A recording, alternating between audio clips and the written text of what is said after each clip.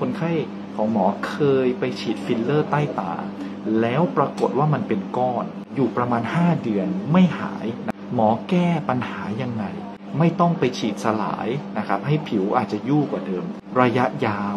ปลอดภัยกว่า และดูธรรมชาติมากกว่า หมอซี Doctor Inspire in love อินดีคุณหมอพ่อลูกสามใค รมีปัญหาไปฉีดฟิลเลอร์ใต้ตาแล้วเป็นก้อนเป็นลำเหมือนกัน ช่วยคอมเมนต์มาบอกใน t ิ k t o k หมอซีด้วยนะ 5 เดือนที่แล้วตอนนั้นไปฉีดฟิลเลอร์ แล้วเป็นก้อนเนี่ยลักษณะก้อนมันเป็นยังไง ใต้ตามันเป็นยังไงครับ ใต้ตามันโหมพอไปฉีดแล้วมันจะขึ้นเป็นลำเลยอือะมเป็นคลื่นเป็นลอืมำก็ก็ต้องปล่อยทำใจอะอืค่ะมไม่กล้าไปฉีดสลายอ๋อเพราะว่ามีคนอืม เคยไปสลายแล้วเนื้อเกิดตรอะไรตรงนั้นขึ้น นะมันจะแบบ มันจะยุ่ยมันอืม จะรักษายากขึ้นกว่าเดิมอะถูกต้องนี่เวลาไปฉีดฟิลเลอร์ใต้ตาเป็นก้อนบางคนจะรีบไปฉีดสลาย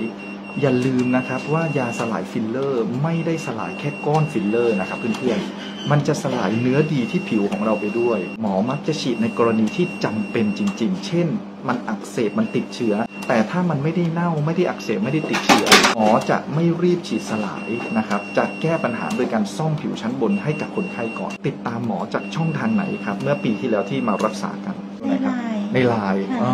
มี add ไลน์หมอซีใช่ไหมครัค่ะบก็ฟังอยู่หลายเดือนเหมือนกันนะคะ ฟังแล้วมัน get อะอืมก็แบบถ้าไม่ซ่อมผิวก่อนอะผิวมันไม่ฟูอะผิวมัน ทำอะไรมันอืมก็ไม่สวยมันไม่ไม่เต็มร้อย เออผิวมันไม่เด้งเวลาฉีดฟิลเลอร์ อาจจะเป็นก้อนไม่เรียบใช่ถูกไหมหลังจากรักษาไปครั้งแรกนะครับหมอซ่อมผิวชั้นบนให้แก้ปัญหาเรื่องใต้ตา ทั่วหน้าเหนียงคางลำคอ แล้วก็มีฉีดฟิลเลอร์เสริมกระดูกในจุดที่สำคัญเออมันค่อยๆดีขึ้นยังไงบ้าง มันก็ดีขึ้นขึ้นขึ้นทำแล้วแบบอืมจองครั้งสองเลย อ๋อ เพราะว่ามันต้องต่อเนื่องอะถ้าเห็นด้วย ถ้าไม่ไม่ต่อเนื่องมันก็จะ ไม่เห็นผลอ๋เต็อมที่อ๋อถูกต้อง มาดูรูปย้อนดูรูปวันนี้รู้สึกยังไงตกบ้างใจเลเอยอทีนี้เอ่อถามว่าหมอรักษาเคสนี้ยังไง ตัวเทคโนโลยีในการซ่อมผิวชั้นบนที่ดีที่สุดคือ monopolar RF นะครับหรือคลื่นความถี่วิทยุขั้วเดียวอาบูเต้เนี่ยนะครับหัวยิงจะกระจายพลังงานเป็นหลังพึ่ง จะไม่เจ็บพอหมอได้ซ่อมผิวเบิ้ลรอบ2อาบูเต้แล้วก็ได้เอ่อได้ฉีดเสริมกระดูกขึ้นมา เทียบกับเมื่อปีที่แล้ว มันดีขึ้นขนาดไหนดีขึ้นเยอะเลยแปดสิบเก้าสิบเปอร์เซ็นต์เลยเนอะมันดูเรียบเนียนขึ้นเรียบไหมขึ้นมาเยอะเลยเออความเป็นถุงใต้ตาดูน้อยลงไหมครับ น้อยลงเนมาอะกผิวมันก็จะฟูอืมรับกับเอ่อที่เราเสริมกระดูกเข้าไปก็จะละมุนขึ้นเนอะ ธรรมชาติมากเนาะใช่ happyี้มากเลย แล้วก็เราใช้ใช้ร่างกายทุกวันอะ อืม มันก็